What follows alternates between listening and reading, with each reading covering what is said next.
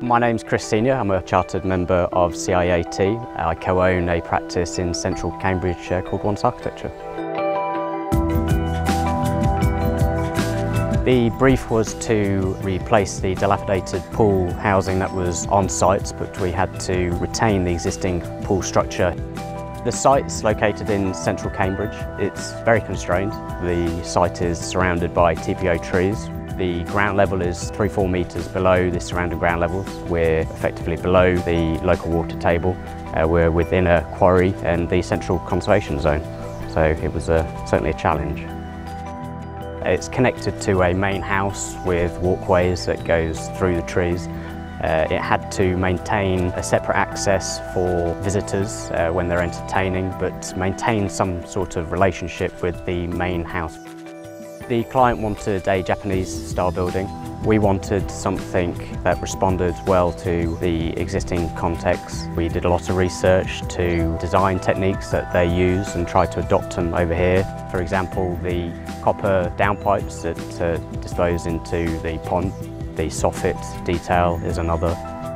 The client was very relaxed in their design approach. They gave us a lot of freedom to design something quite innovative and sustainable and fundamentally something the client could be proud of.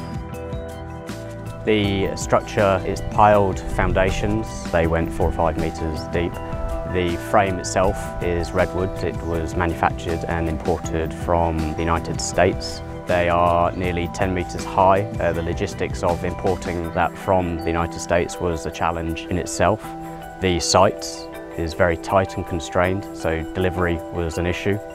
But working closely with the contractor who was very conscious, uh, he was able to take delivery and direct the frame on site with very little issue. It was important to us that we use frameless glazing on the ground floor. We really wanted to maintain that relationship with the outside spaces. Being in a pool environment, condensation was a big issue, uh, so we had to come up with a ventilation system that uh, worked hand in hand with that glazing.